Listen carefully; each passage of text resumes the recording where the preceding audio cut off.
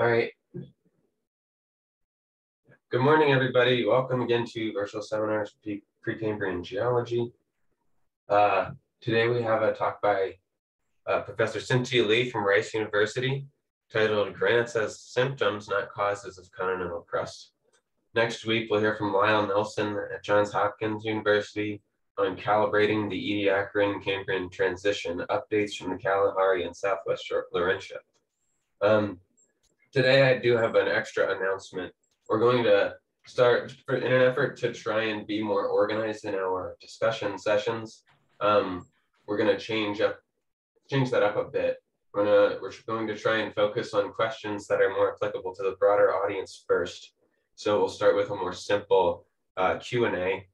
And those of you who have questions that are more specific to the topic that you think might not be uh, applicable to the broad audience, and you're the best judge of that yourself. Um, please, please try to hold them a bit at the end of the Q&A. We'll transition to our more uh, typical open discussion. Um, and I'll cut the video before the open discussion because I uh, need to keep these shorter than they have been um, for ease of upload to YouTube. Um, and then we'll sort of let everybody who feels close to the topic and wants to discuss more deeply, to sort of have a more open, less moderated discussion. Um, and that'll be limited only by the amount of time the speaker has and how long the discussion will go. So I'm going to put that sort of, I'm going to put that on our website uh, for reference for everybody. Um, and, and that's all I have to say. So we're, we're excited to have Cin-Ty Lee here with us and Andre's going to introduce him for us. Uh, it's a pleasure to introduce Cin-Ty Lee. Uh, he has a, a, family connection to uh, UCR. Uh, his father worked here as a geophysics professor. And Cin-Ty Lee got interested in geology even before he entered university, uh, working with uh, Doug Morton, who was associated with our department. And he continued with a PhD from Harvard University, working with Roberta Rudnick, and when a postdoc at Caltech, working with Jerry Wasserburg. And, uh, and now he's a professor at Rice University, and his main interest on interaction of magma with crust and impact on formation of continental crust on biosphere and a composition of the atmosphere and ocean. And with this, I pass it to Cin-Ty Lee.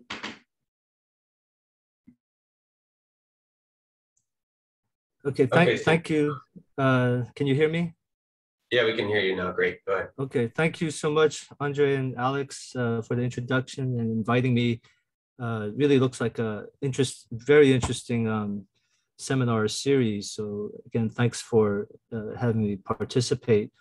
Um, I'll just start off by saying as, as I've gotten older, I, I guess I feel like I know less and, and I'm not really sure of anything anymore. Um, and so maybe that'll come out from this, this talk.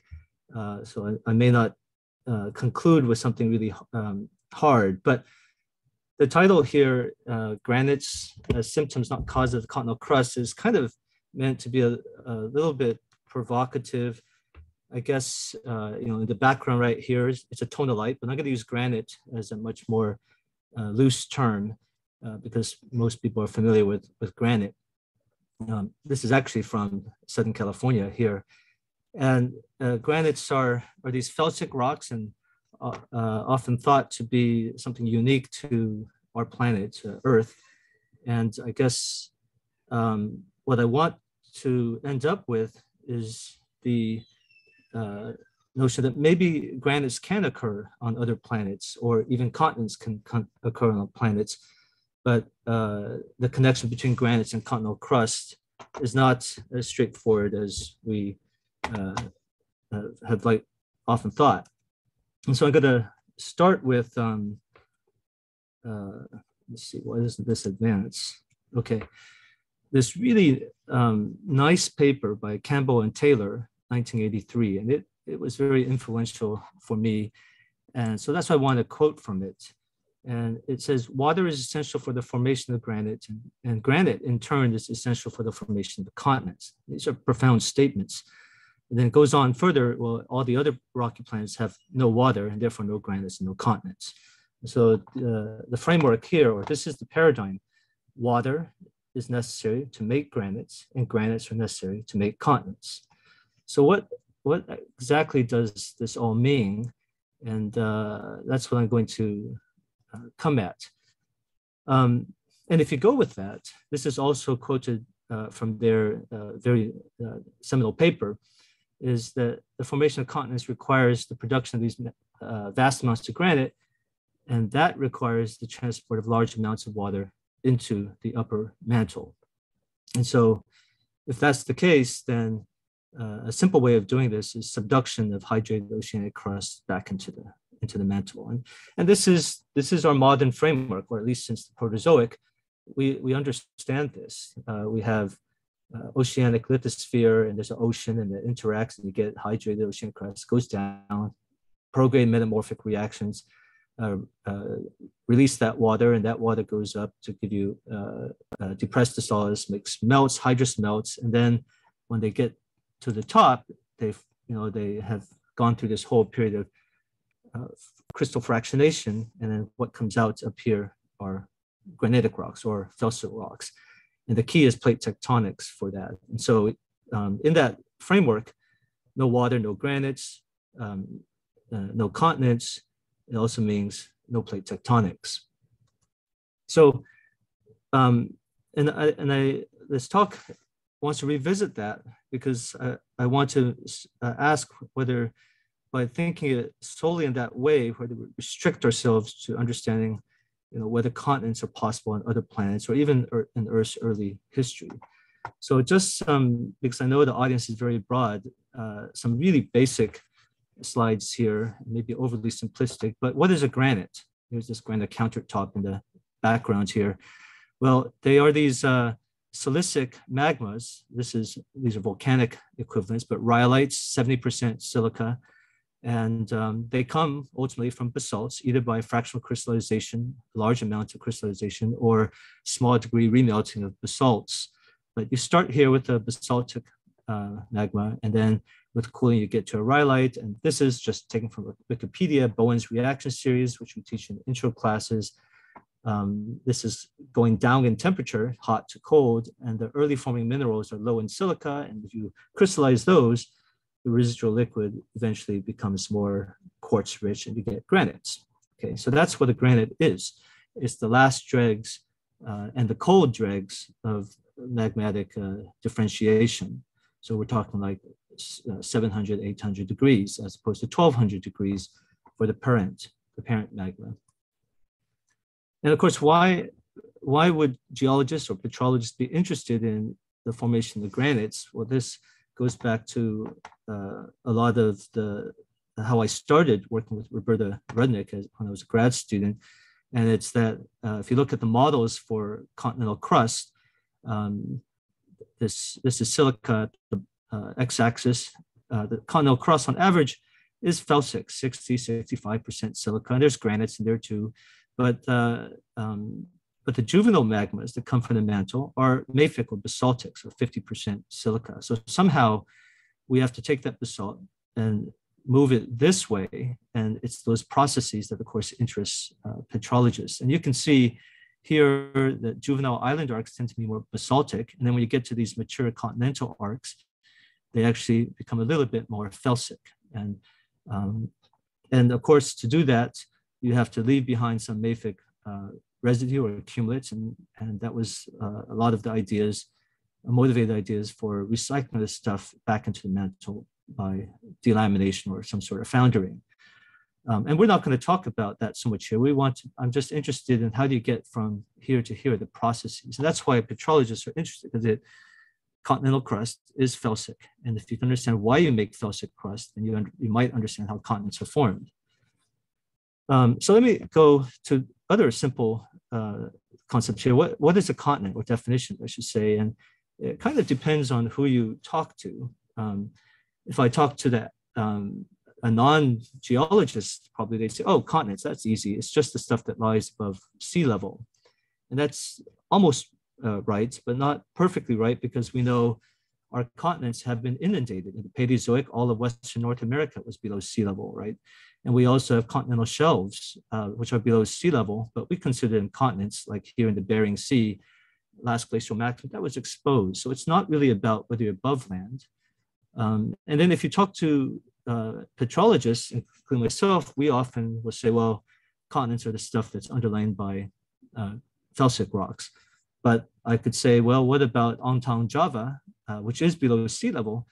Uh, but if sea level were to drop significantly, uh, probably not couldn't do that much today, but if it did, that would be exposed, and you might call that a continent as well. So it's not necessarily composition.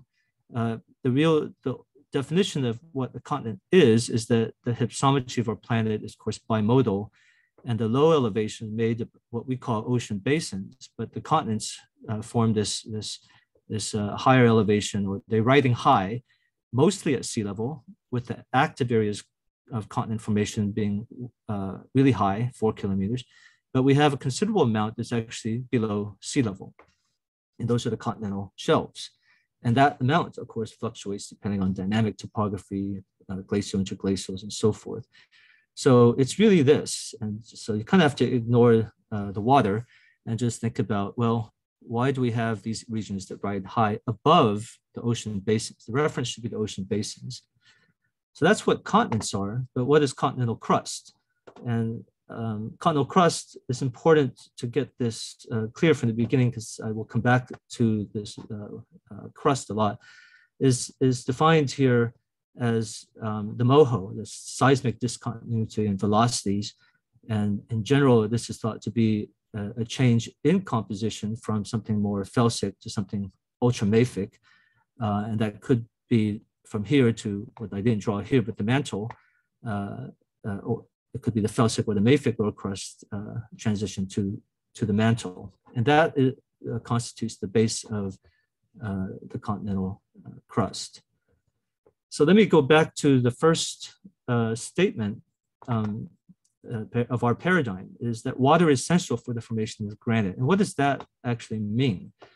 And um, so granite is the, the forms, these felsic was formed after extreme fractional crystallization, you cool the, the, the magma, uh, basaltic magma considerably, and then you reach the realm of these felsic uh, rocks. But of course, what water does is it depresses the solidus and allows you to do this at lower temperatures. So you could remelt a basalt instead of at 1200, you do it at 700 degrees. Or if you fractionate the basalt, you could let it go down to lower temperatures where it can incubate there. And so you just don't need as much thermal energy if you have water to generate granites. So in that sense, it's not necessarily essential, but it, it certainly helps in making uh, it easier to form granites. And the other thing is that if you add water to the system, so this is melting degree and melt productivity, and this is temperature here. And if you add water, so you'll have these different curves, so you, you make the melting point lower, but you change the shape of the melt productivity such that the, the range in which you get these low temperature magmas uh, or the volumes that you produce actually is expanded. And these happen to be more uh, silicic. So it actually expands the field for silicic magmas. So water is not essential to make granites, but it makes it easier to make granites. So it's a subtle difference. And it also makes it easier to make lots of granite. Okay. So if you don't have water, you could still get some granites. You probably won't get a lot the second part of that sentence was uh, granite in turn is essential for the making of continents. And this, this is um, an important statement because it, it implies something about the physics. And what I'm showing you here is a free air gravity map. Um, and what it is, is if you fly your airplane at the same elevation over uh, the Earth, uh, and you measure the gravity below you, or what it's actually measuring is the amount of mass uh, below you. And you would think that under the highest elevations, you'd have more mass because you just got thicker, uh, I mean, the, the, topography. But it turns out there is no mass uh, excess you can look at. So if you ignore the edges of the you know, subduction zones, you, you can look at um, uh, Indian Ocean basin. You can look at Africa, which is high. You can't tell the difference in terms of gravity. In fact, you can look at the center of Tibet, four kilometers high, and uh, look at the Indian Ocean basin. There's no difference. Again, at the margins, uh, there's there's some edge effects and some uh, flexure issues here, but but away from those, you can't tell the difference. And what that tells you is that the Earth is fluid on geologic timescales, and it's equalizing the gravitational potential. The rocks can flow to do that.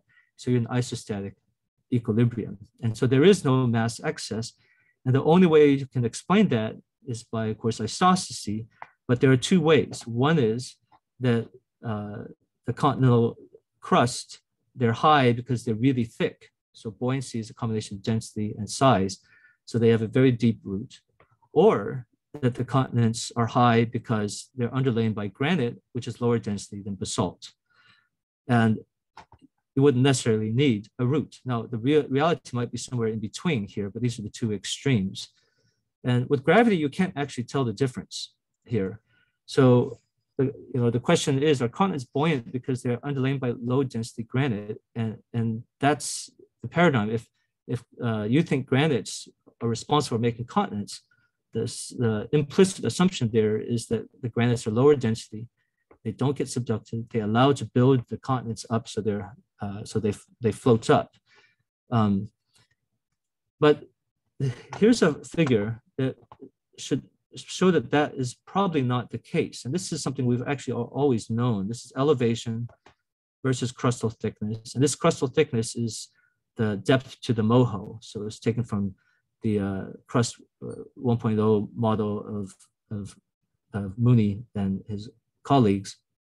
And you can see what I've only plotted just to keep it simple are the high elevations of mountains, Tibet, Andes, Rocky Mountains. And then you also have the oceanic crust. And of course, the oceanic crust is only seven to 10 kilometers thick and it's riding low uh, in the ocean basins. And then the mountains ride high. And even though oceanic crust is basaltic and these are felsic, they have this uh, strong um, a, uh, uh, uh this correlation here that elevation links up with uh, crustal uh, thickness. And I've also put on you know densities or effective density contrast between the crust and the mantle. You can see here's 2.0 or 2.9. Yeah, variation in density are important, but uh, uh, crustal thickness plays a much larger role here. And so really it's uh, the high elevations have a root, continents ride high because they have this, this root here. And the density contrast between granites and basalts is really not sufficient to give you um, that whole range in elevation. So the density difference is, is a secondary effect. The most important is crustal thickness, not composition. So here is the paradigm. But now what I guess I want to open up or challenge or is maybe a different or real restructuring of this paradigm where actually the most important thing is crustal thickening, however you do it. In plate tectonic mode, that's easy. In a non-plate tectonic mode, that's what we should be talking about. And so when you make the crust thick, that's what makes the continents. It doesn't need granites, it doesn't need water. But when you add water to it, you can form granites. And if you make it thick, you can also form granites. And the combination of this is what makes the granite. So granite is no longer a requirement, but rather a response or a symptom of the processes that make continents, and that is crustal thickening. And, and why I, and I may be wrong on this, but why I want to reframe the, the picture here is that if we were to go to Mars, or Venus.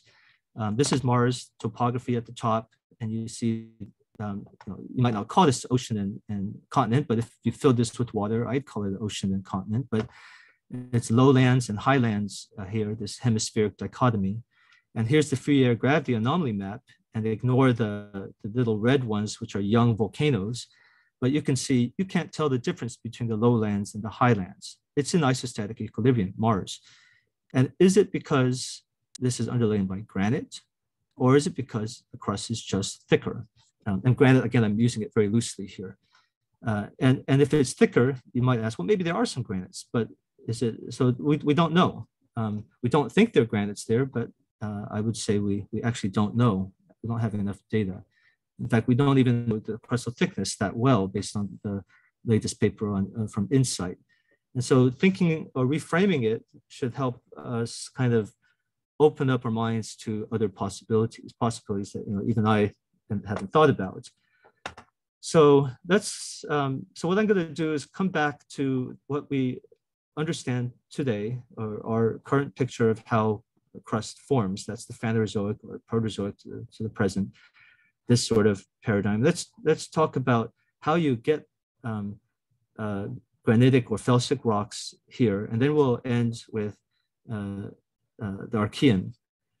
Um, so back to this restructuring of this framework, uh, I put another plot up, and this is the silica content of lavas uh, when they erupt as uh, in arcs all around the world. So they're modern as a function of elevation. And it's sort of weird. This is from Michael Farner. Uh, the composition of lavas correlates with elevation. That's kind of crazy. Some geochemical thing corresponding to uh, uh, some geophysical thing that doesn't, you know, it doesn't isn't obvious that it should make any sense. But remember, the Earth is in isostatic equilibrium, and the reason why we did this is we actually used elevation to tell us what the crustal thickness was. We didn't have enough uh, representation from the seismics to, to get to do map out every single place where we had volcanoes. We used elevation. So if you think about it that way, it makes more sense that the thicker the crust, um, the longer this uh, distillation column is that magmas have to go through and they end up losing their heat. And then they, uh, when they finally get out, you should see more silicic magmas. So nothing, nothing crazy about that. Qualitatively, it makes complete sense. Shouldn't be surprising uh, at all, although it's very nice to actually show that there is this uh, amazing uh, representation. Um, but what we can do is, um, and so this this is, uh, and you can do this for any arc, but uh, you can think of uh, this long distillation column of magmas coming up from the mantle wedge. They're hydrous and they go up, cold thermal boundary layer, and they cool off, and they drop their loads all the way from the bottom before they get to the top. And these are all the cumulates and a whole series of cumulates. And of course, you get the felsic plutons at the surface and the stuff that that erupts. So that we sort of understand, at least on the qualitative scale. But it still goes back to this question that, that I have, and it's something that has bothered me, and I don't know if it bothers others. Uh, maybe I'm going down a, a, a, a, unusual path here, but I've always wondered is not only, you know, the first is these, these felsic rocks, remember, they are the last differentiates. They are cold, colder magmas and there shouldn't be a lot of it around. Um, and we had always talked about it in the terms of the mass balance problem that you need massive amounts of mafic cumulates to compensate for that. And so from a mass balance perspective, that was always a problem. And we can deal with it by you know doing delamination or, or whatever. But from a the physical point of view, the process sees there, we still have to understand, yeah, how do you actually physically get uh, so much of these cold magmas, which should otherwise been low volume. And not only that, they come up as big plutonic bodies. How do you get these big bodies here? And you can go to the Sierra Nevada, their, their bath, the big batholith there, and there's plutons of pretty large scale, kilometers in scale. This is half dome, that's cut in half here, but uh, was much bigger. Uh, but and they're actually quite homogeneous, actually. So how do you get so much of this? And water, of course, is going to help us, but is water by itself sufficient to, to do this? Um, so recently, and, this is actually um, ins inspired by a lot of the work that uh, Doug Morton um, uh, did at, at the UC Riverside, actually. And he, he mapped out all the plutons and, and we basically looked at the compositions of the plutons and um, uh, mapped out their, their sizes here. And then we plotted the Pluton area versus the silica content. And obviously we don't have the vertical uh, dimension. We also don't have, uh, the, we have to worry about the issues of preservation or erosion. But if you look at the scale here, 600 kilometers squared to uh, less, you know, 50 kilometers squared, even less, you know, those uncertainties uh, or in the noise. Okay, these this is a huge variation. What you see here is that uh, there's a big spread, but the upper envelope here is telling you that it again it was confirming that that suspicion that I had these felsic intermediate magmas, which really should not there shouldn't be a lot of them. They actually form also the biggest um, magmatic bodies, the biggest uh, plutons. And then the really silicic ones, of course, you don't get a lot of those. But these intermediate ones, you get some big, big guys. And if you look at this variable, gadolinium terbium versus silica, And geochemists use this to, to as an indirect uh, measure of uh, pressure of differentiation, either amphibole or what I think is garnet uh, fractionation deep in the crust, is telling you that there's some connection with these making these big magmatic bodies. Uh, although they're at the surface now, they're formed deep in the crust. And if it's deep in the crust, it means that the crust was quite thick uh, when it was forming at the time. That, that whole distillation column that the magmas passed through, much of their own doing, is, is very thick. So Andean style sort of uh, continental arc scenario. And so I, we, we did some simple analysis here to ask how do you make thick um, uh, a thick partially molten zone so you can get enough of these magmas to eventually rise up. And so here, subduction zone and uh, uh, a thin crust like an island arc, a continental crust like the Andes or the ancient Sierra Nevada. And then this right here is if you were to look down the slab, and then this direction is a long arc. And I'm just showing you different scenarios here. And really what we're trying to do is understand the thermal state of the, the lower parts of the, the active arc. And that's uh, this depth here, and this is temperature, and this is the uh, uh, uh geotherm here. And what controls that temperature is a uh, combination of things. You have melting from the mantle wedge that advects heat into the crust. You have heat flow from the mantle wedge in here. And then you have heat loss uh, from down here through the surface. And all of those, um, the addition of heat and the loss of heat interplay to eventually give you the characteristic temperature at the bottom.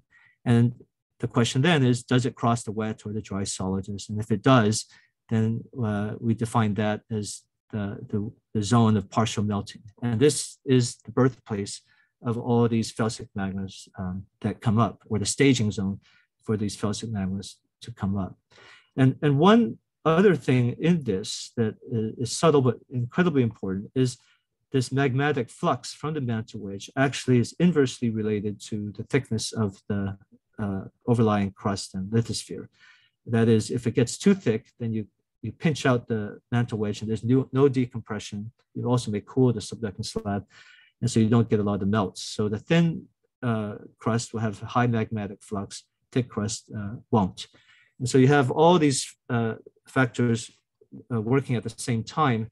And so the end product is not entirely intuitive until you try to uh, put these, uh, lay out all these, these uh, controls. And so um, for the those who are more inclined to the modeling, this is a partially molten zone, and all these arrows correspond to basically it's a box model of energy or heat.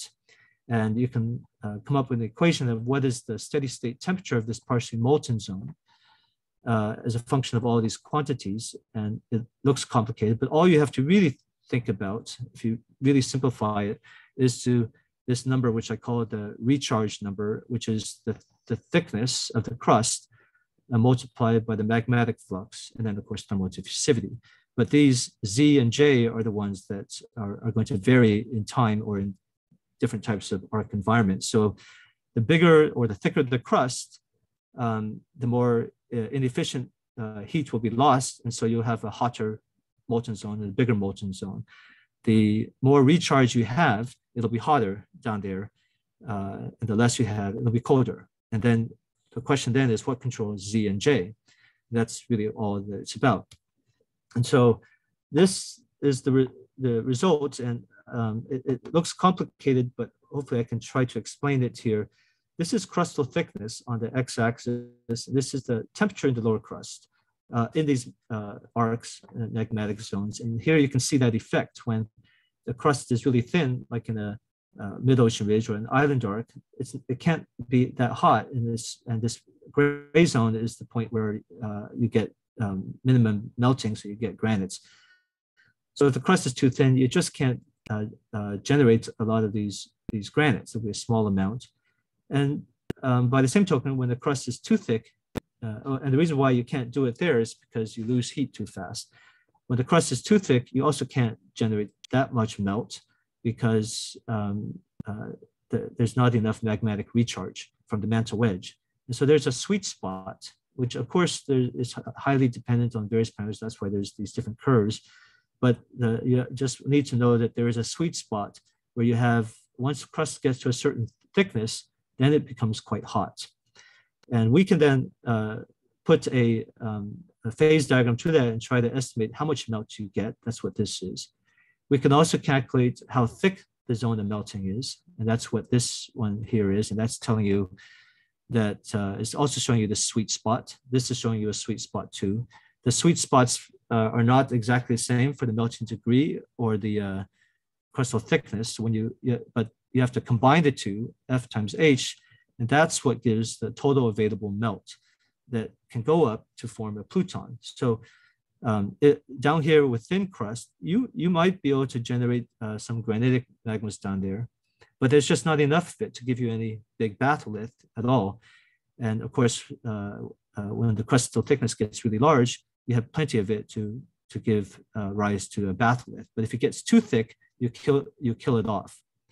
And in some sense, uh, in retrospect, I guess that's all obvious, but at least uh, we can put some numbers and to it and and uh, we can tease out what are the, driving physical uh, factors that, that control this.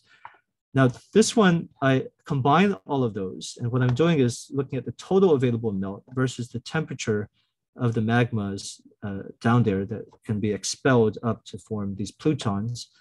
And so you want to go along one of these loops. Uh, there's this hysteresis here. And so the uh, you take this one right here, and there are four different magmatic fluxes. But uh, let's just look at this big one right here. Uh, and what will happen is, um, and they're countered to crustal thickness. When the crust is thin, um, you, you, you can get really hot down there, perhaps, but you can't generate enough magma uh, down here. But then when it gets to like 50 kilometers thickness, so 25 and 50, all of a sudden you can generate a lot of magma. If it gets too thick, you don't generate enough. So that's just showing you the sweet spot happens to be here. Um, so to get the felsic magmas, you want to be uh, thick crust. Now, I've done the same where I put the, uh, a dry system, and you can see with the dry system, I, I just can't generate a lot of magmas, okay? And so this is telling you, of course, water is essential for making uh, large volumes of granite. Um, but water alone is not, if you go here, right? What you actually need is thick crust uh, in the combination of water to generate large volumes of cold magmas, andesites or granites, or dacites and rhyolites, whatever, whatever felsic magma you like. It needs to be thick and you need water. So back to this, I, I hope with that kind of shows you even in the modern sense, crustal thickening is key, water is secondary, and it helps. And our vision uh, uh, framework for today is uh, the water comes in through subduction, and that's why we have granites. Um, so what are the implications of this thick uh, active crust? And, and this goes back to uh, Sierra Nevada, or at least we have insights coming from the Sierra Nevada. And uh, this is a, a, a, like a stratigraphic section of the Sierra Nevada.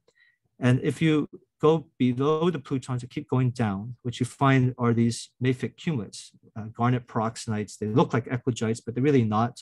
So we uh, we call them arclogites. Mihai Ducea, uh, Don Anderson, uh, Jason Saleeby called them arclogites, and I sort of like that term uh, just to distinguish them from your uh, Franciscan type eclogites. And here's an AFM diagram that shows uh, all the plutons going here, and they're going down this iron depletion trend to become more silica or alkali rich. And then the garnet or the arclogites are here. And they actually show this antithetical or complementary um, uh, cumulate line of uh, crystalline of descent uh, to the liquids itself. So they're complementary. So what, um, so these down there, what do they tell us? And they form when you have thick crust. What do they do? What is the significance of these, if any, other than from a petrologist view, they're they're uh, pretty cool to to look at. Do they have broader significance? And um, uh, a few years ago, Ming Tang, who had worked uh, also with Roberta Rudnick, uh, came to Rice and as a postdoc and worked, uh, brought his expertise on europium systematics. And uh, he, we came up with this idea, well, well, let's just look at the Europium systematics he's garnet pyroxenites. And the reason why he was interested in that is that all these rare earth elements um, pretty much have the same valence state, plus three, with the exception of cerium and europium. Uh, cerium is not that important uh, in the magmatic conditions, their variance and very, uh, uh, valence state, but europium is. It, it can be plus two or plus three. And whether uh, it's mixed valence it tells you the electron activity or this thing, this oxygen partial pressure. We call it oxygen fugacity here.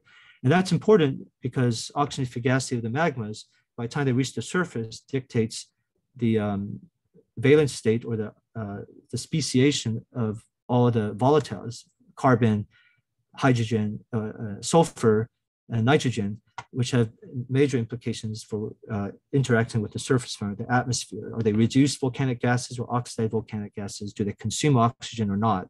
That's kind of why we were interested in this, although we didn't get to that point with this particular work um, that, that he did.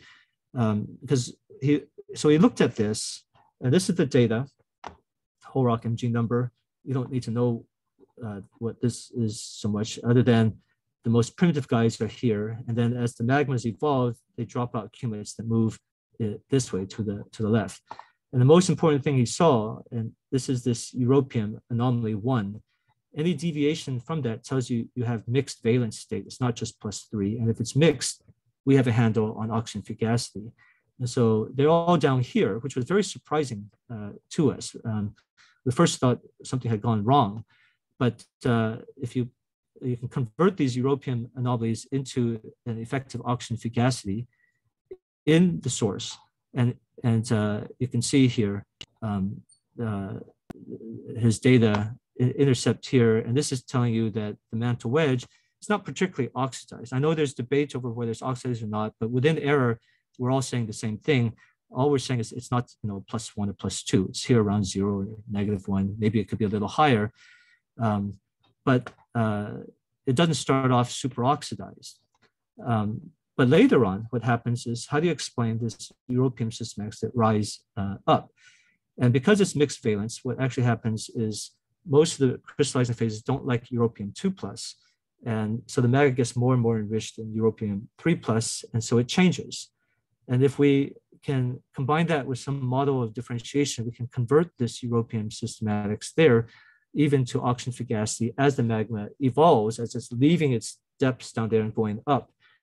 And you can calculate these um, effective uh, europium uh, partition coefficients, uh, empirical ones from, from our data, convert that to FO2. And it shows you that when you start, nothing unusual about these magmas, but eventually they become much more oxidized. And so you get up to residual melt fraction of 0.4, 0.3, uh, which is where you get uh, these really felsic rocks you're at FMQ plus two or three, which is high oxygen, no longer reduced. It cannot be a sink for volcanic, uh, for oxygen in the atmosphere, if, if this is what you were interested in.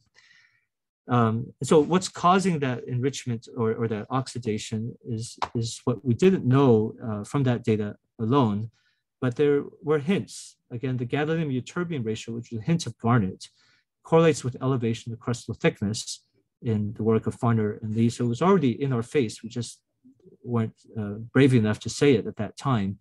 But then Ming Tang uh, looked at it more carefully and showed, well, of course, garnet, uh, in retrospect, it's obvious, well, garnet gets stabilized at, at thicker uh, crust.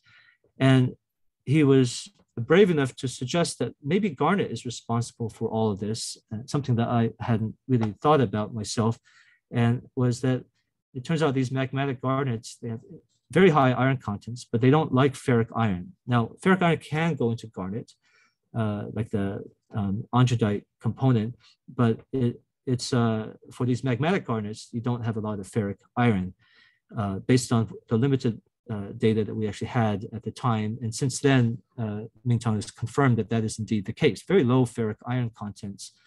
But he went on a, out on a limb and just went ahead to model the Garnet fractionation. What would it do in terms of the oxygen fugacity?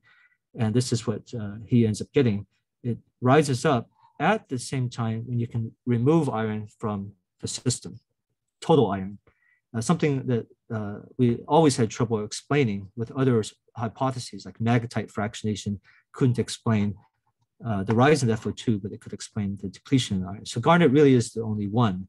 And that was um, laid out clearly in this in Tang and, and a series of other papers that he's he's done. So I, am not going to expand more on that. Um, I, have spent a lot of time in the past talking about that interface between the deep crust and the surface environment and atmospheric oxygen, but uh, that's for a different talk. But I do want to just quickly summarize and, and in a, a uh, paper here where we were speculative uh, was to suggest that the composition of the crust uh, matters and uh, in terms of uh, oxygen cycling in the, in the, surface environment. And one of the old, older ideas was that the oxygen fugacity of the mantle changes with time. And that may still be right, but we offer another thing to think about is that you know maybe you don't need it to change, but the composition of the crust um, and its ability and, and, the gases that come out of it, the, its ability to react with oxygen changes. And so if you were to thicken the crust, then suddenly, uh, or the, the style of making continental crust is one that is very thick and forms garnet, then um, the sink, uh, the, this terrestrial sink uh, disappears or is weakened, and so oxygen levels can build up. And that might maybe explain the first GOE. The second GOE, I don't know, although we have some ideas in this paper. Um, but I'm going to move on from there, and that maybe just helps those of you who are more uh, into the surface environment uh, understand that the, the possible connections to of the deep earth to the surface. But I'll, I'll leave it at that. So I come back to this, uh, maybe a little break now, and, and look at our present planet. Um, and this one, I think we understand. And it's a plate tectonic world. There's mid-ocean ridges. The continents move around because plates are, are spreading and you have subduction. The mountains are formed where you have collision and subduction zones. And I think we understand this today.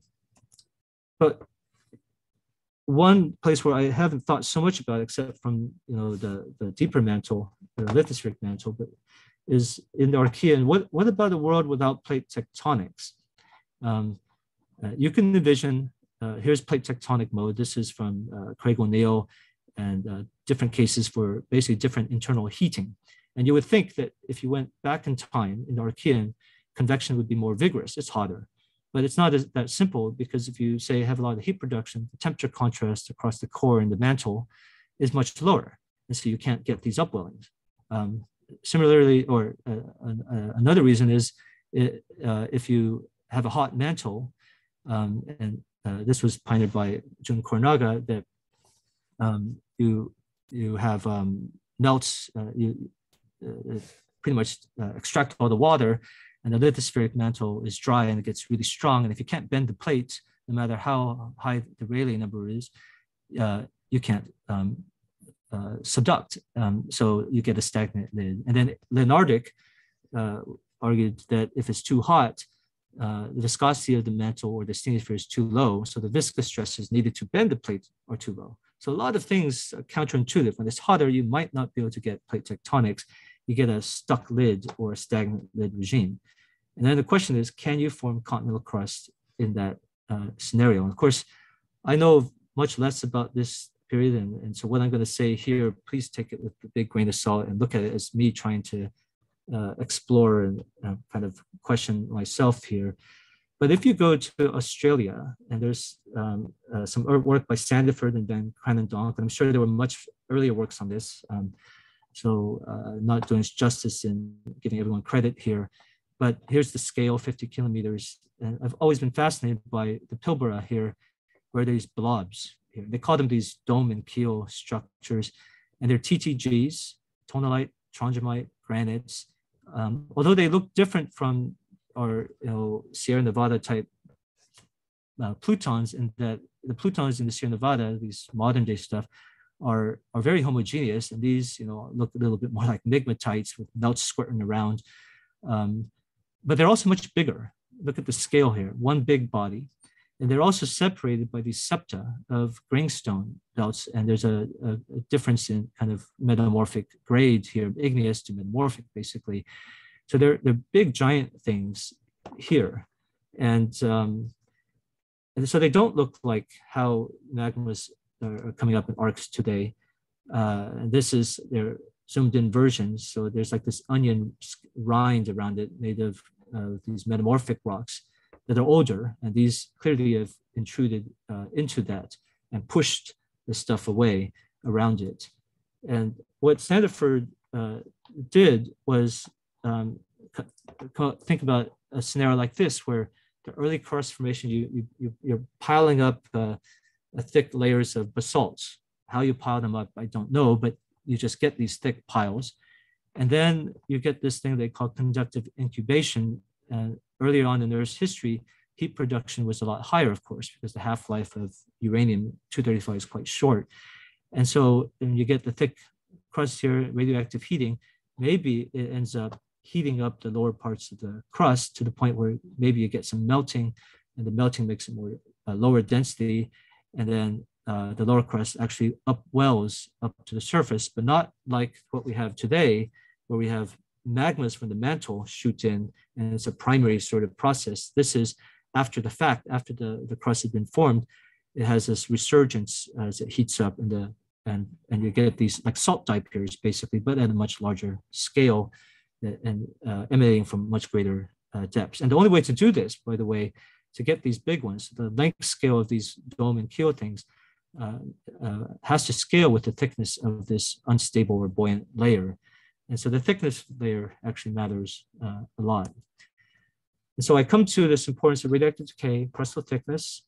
Uh, we know that um, today the uh, upper crust is uh, felsic and has more potassium and uranium, thorium, and potassium all kind of go together. So uh, uh, you would think that um, crust today are radiogenic.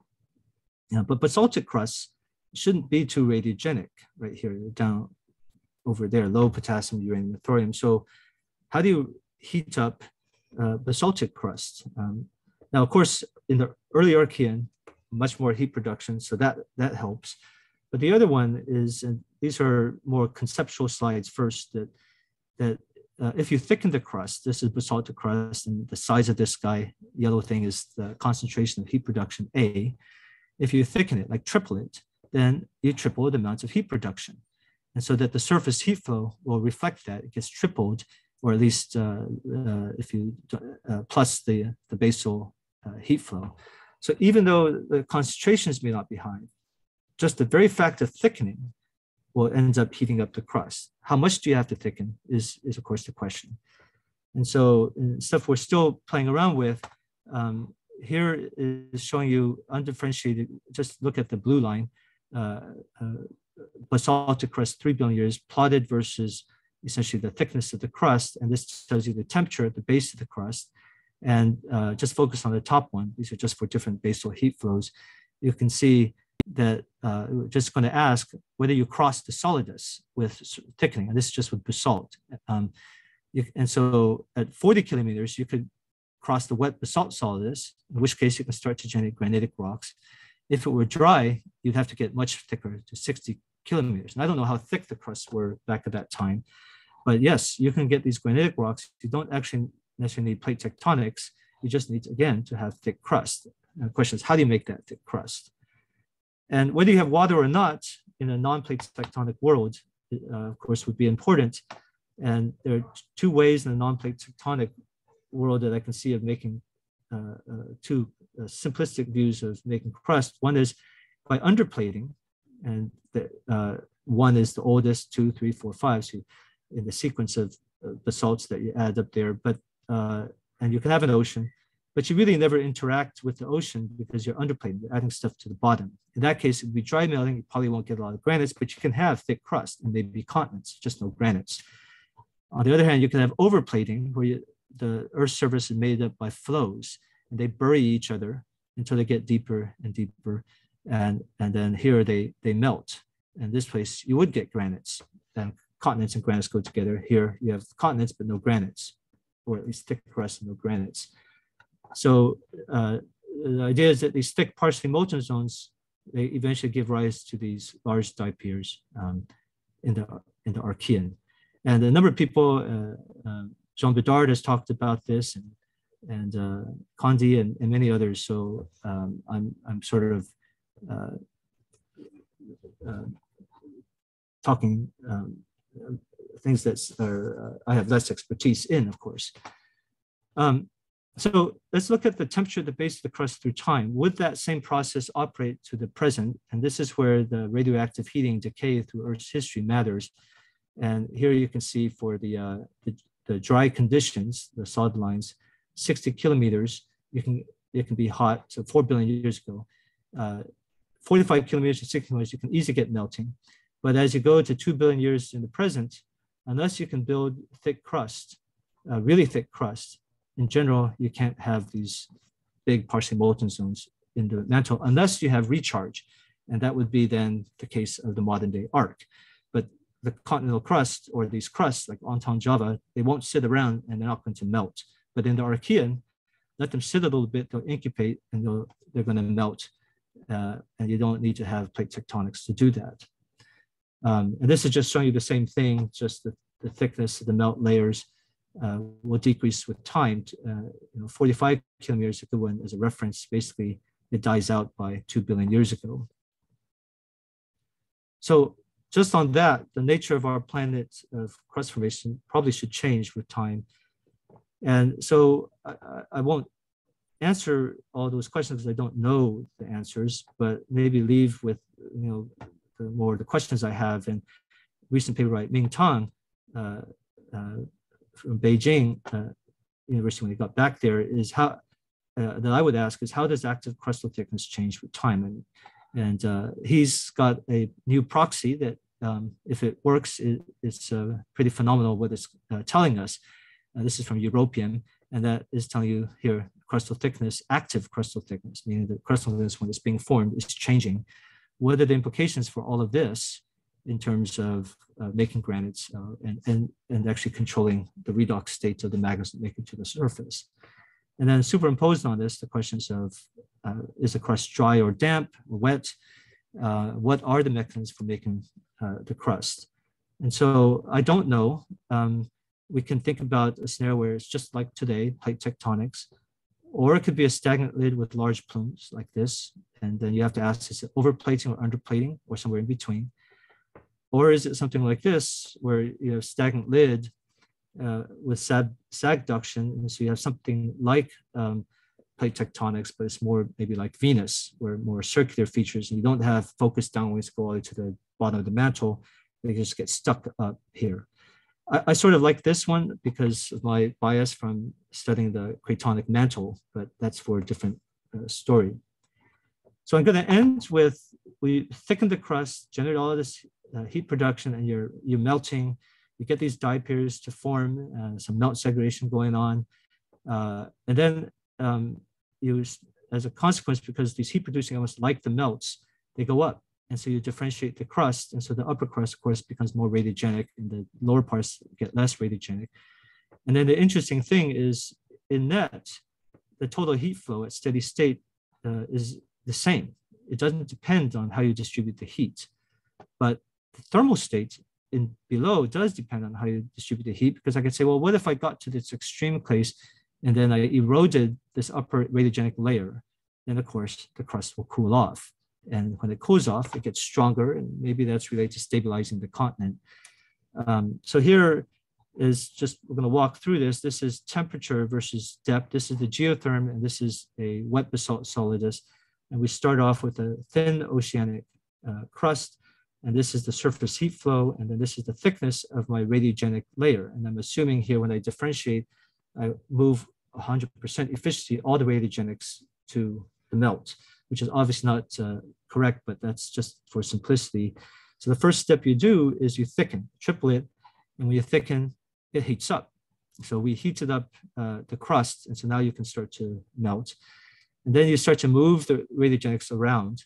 and you'll find that the surface heat flow doesn't change, but actually you start to cool at depth because you move the heat producing stuff to the surface. And if you keep concentrating to the surface, you keep on cooling. And then finally you get rid of that, you get your final cooling that go, goes on.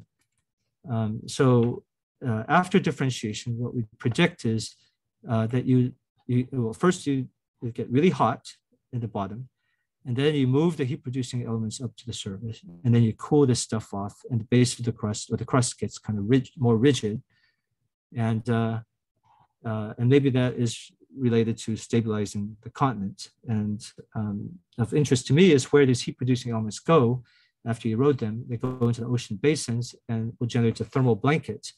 This is a thin thermal blanket because it's diluted over the broader areas of the ocean basin. So maybe it doesn't have an impact on the thermal state of ocean basins.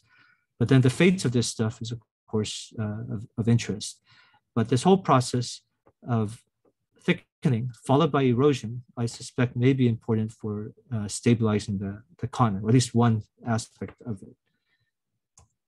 Um, so that's it. I leave it at that. And uh, with this reorganized framework, I don't know if it's right, but uh, uh, crustal thickness, I think, is really the, the key to making continental crust. And granite is the byproduct, not a requirement. And uh, you need to reach critical thickness. And if you throw a little water, you can get a lot of granite. And so maybe this will allow us to think about the other planets in a different way. Uh, thank you.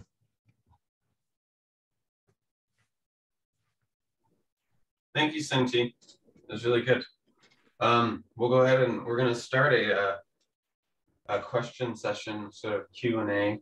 Um, people who have uh, who have questions. The only thing we ask is that if you have a really you have questions that you think are really specific, uh, that wouldn't be applicable to the broad audience, uh, try to hold that to either just the discussion or talk with Cin-Ty separately. Um, but yes, so we'll wait to see if anybody raises their hand or puts anything in the chat.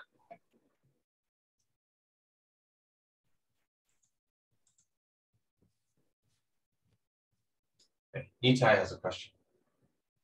Thanks for that talk, Cin-Ty. It's really cool stuff. Um, so one of the things that I was curious about um, is whether there's a, a throttling effect on uh, the product of F and H that uh, should lead to some sort of steady state thickness of, uh, of continents, right? You showed that you need thickening in order to get substantial melting, but then that um, as the, the crust gets thicker, um, that actually slows down the, um, uh, or um, decreases the, uh, the, the, melting. Um, so is there some sort of a, a steady state continental thickness uh, at which um, you know the, the, the, melting essentially slows down enough that uh, the, the content stabilizes at a certain thickness? Um, I, I don't know about the steady state uh, thickness. Uh, I mean, if it gets too thick, it, it will shut down. Um, but what controls the, so in that study, we actually don't talk about what controls the, the thickness um, because that uh, sort of separate but related is, is the control of magmatic flux, uh, tectonic compression, and erosion as well. And, and uh, when all those act together, yeah, you can get a steady state thickness. And then my interest with the paper was for those particular characteristic thicknesses, um, how much melt can you get out? Uh, so island arcs, for example, steady state thickness is probably 20 kilometers. And that's because the upper plate is extending. Continental arcs, uh, it can vary. In the Cascades, it's probably 30 to 40 kilometers. In Andes, it could be 60 or even greater. And that's just telling us something about the interplay between the compression and the magmatic fluxing. Thank you.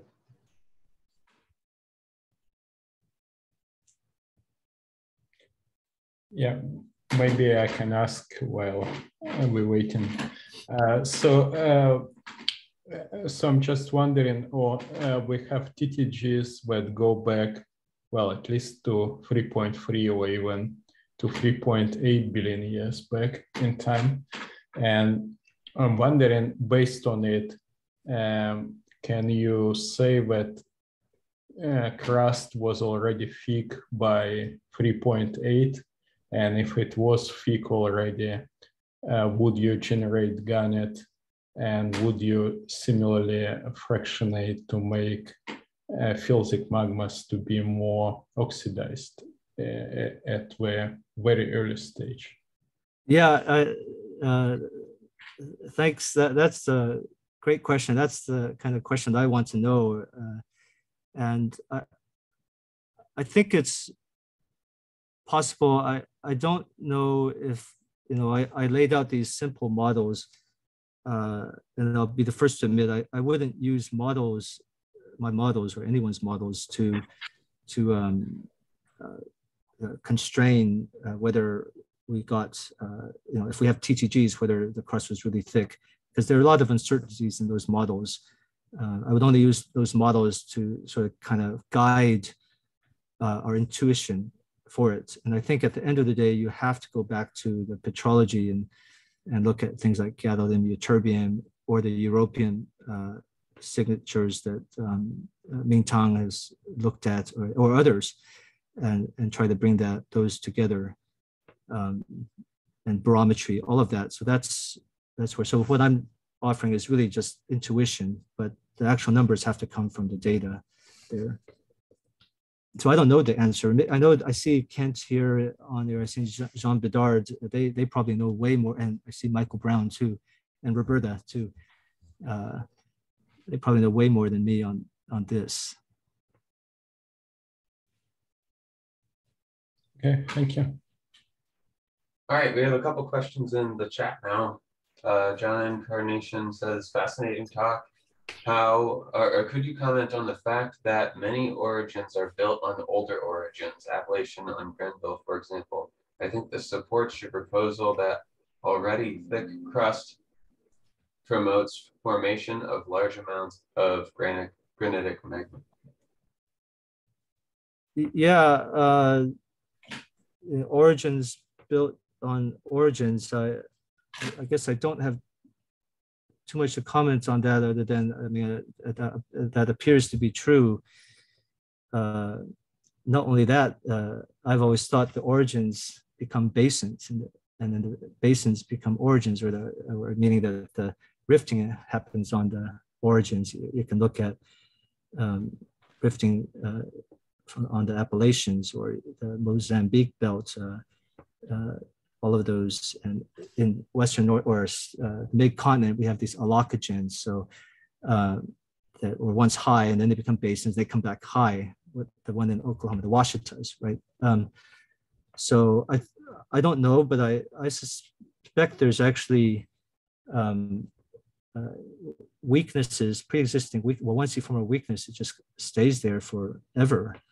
Uh, what those weaknesses are, I don't know. Um, uh, my, my bias is uh, some projects that we're currently working on um, is that it may be related to something in the lithospheric mantle that promotes um, melting, and so which then weakens it. But uh, why I don't know, despite some of my biases there.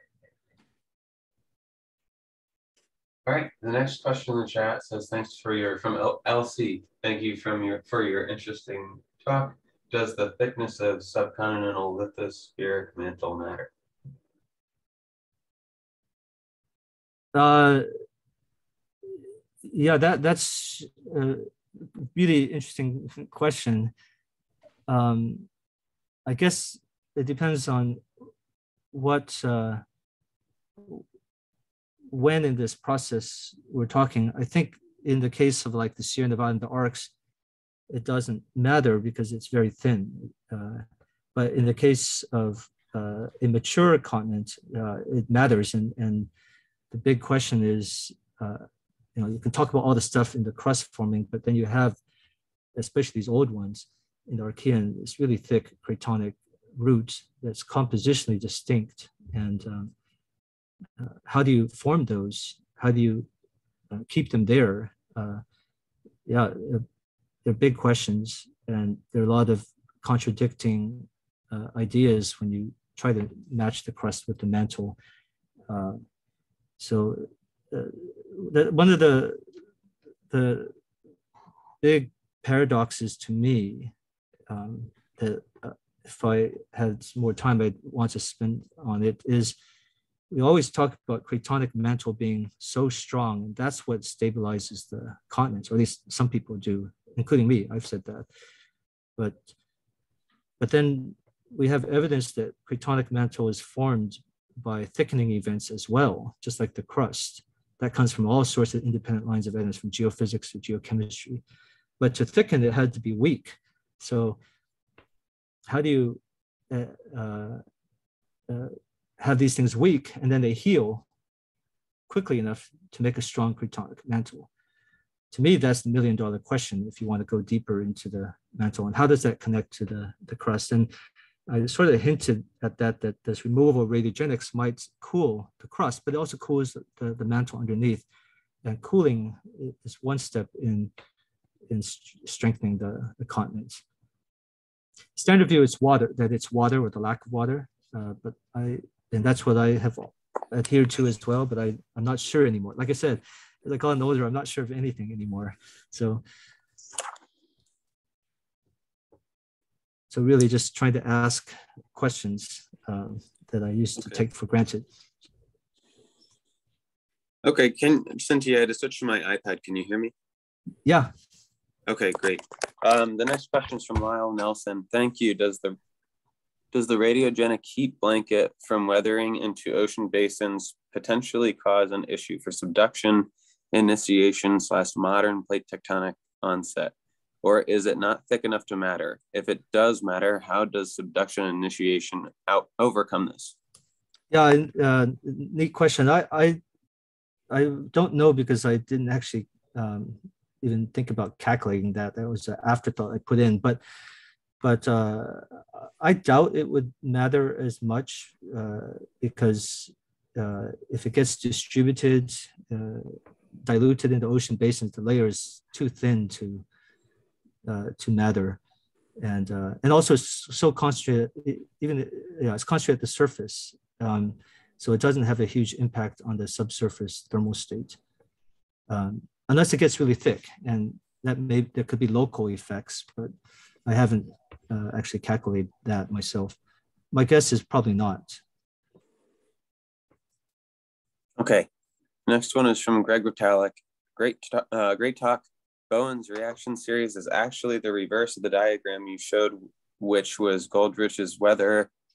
Oh, Goldich's weathering sequence of minerals and soils.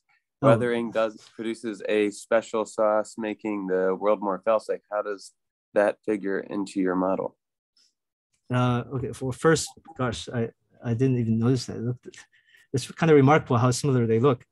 Uh, sorry about that. So much for Wikipedia uh, so much for my classes there.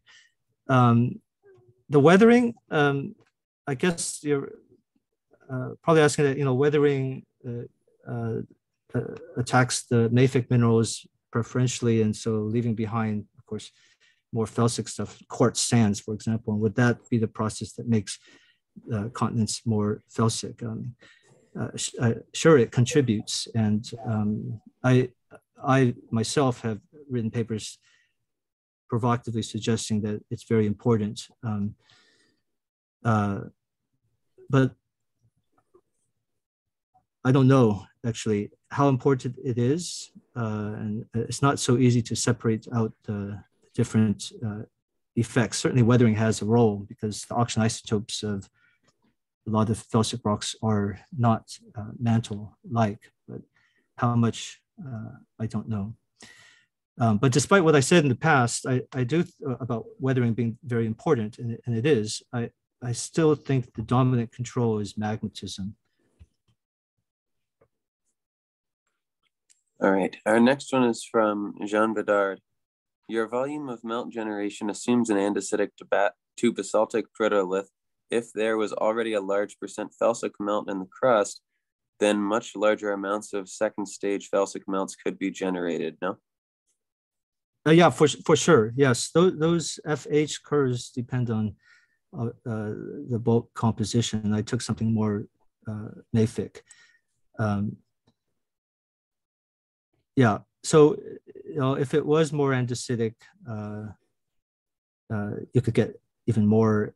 And you have to ask them how do you get those andesitic stuff to begin with uh, or more fail success to begin with, um, that would you would kick the can down the road. But that could be, uh, there's other views where you hydrous melting of the mantle or flux melting of the mantle generates andesites directly from the mantle. Uh, and I haven't considered that. I'm not sure if that's where you were going, but uh, Um, yeah, okay if I ask the question directly?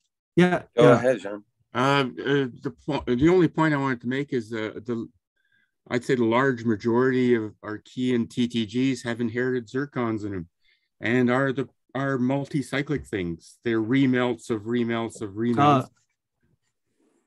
yeah, it, um, uh, so the model I have, you, you could account for that. Uh, you just change the, you just make it a little bit more complex and change the starting composition. Uh, yeah, and it would get easier. Yeah, Uh, but I, I really like your model. I, you know, I think it ex, it potentially explains a lot.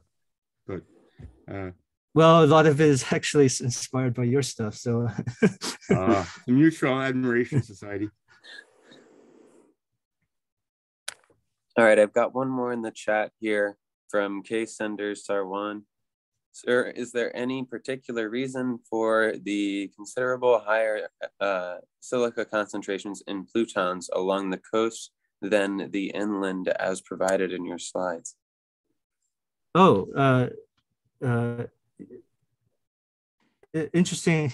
Yeah, very interesting question. Yeah, um, I'm surprised uh, you noticed that so, so quickly in the the map. Um, yeah, so we we see that. Uh, uh, so the the western part is um, in the plutons is uh, was thinner. At least we think it was thinner based on various geochemical signatures, the crust, and then the eastern part was thicker, and and, and that's why you get the, the more uh, and- andesites, the large volume andesites.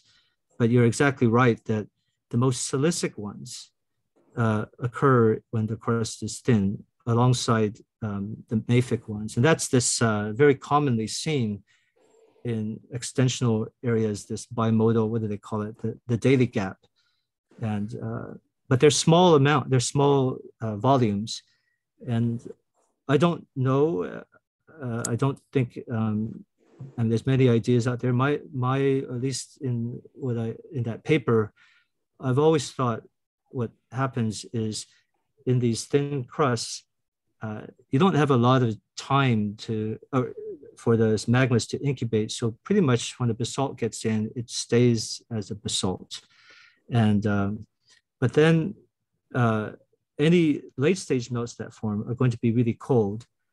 Uh, and most of them don't even get them. But when you do get them, they're just going to be uh, rhyolites. And uh, so the gap is there because you, you just chilled everything out. And uh, the only other melts you might have are these late guys, and they're relatively insignificant. So like um, Iceland has rhyolites too, but not a lot of them. Okay. At the moment, there's nothing else in the chat. So anybody who wants to stick around and have a more specific chat with Cin-Ty, we want to Cin-Ty, we want to be respectful to your schedule. If you need to go, just let us know. But No, we I'm- also like to let things go as long as they want. I'm good. Um, Thank you uh, so- uh, so much for the questions and inviting me. Uh, very, very interesting questions too. Uh, Cin-Ty Lee, you mentioned Ontong Java at the beginning, and uh, some people like Bolt Scumber suggested that by sort of growing